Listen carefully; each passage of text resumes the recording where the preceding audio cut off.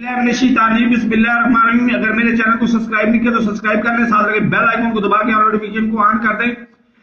अगर निज़ाम तब्दील हुआ 25 मार्च को इजलास तलब कर लिया गया है। आज से मेरा खेल दोबारा शुरू हो गया है।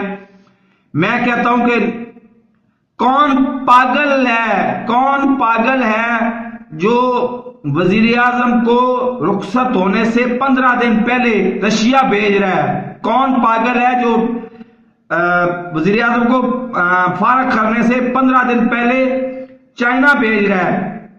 तो उन्होंने ज़बरदस्ती मुलवस किया है इस हमारी किंग मेकर्स को। तो जो भी इल्ज़ाम, जो भी नतज निकलेंगे, इसके जिम्मेदार, इसका जिम्मेदार इमरान खान कहीं नहीं जाएगा।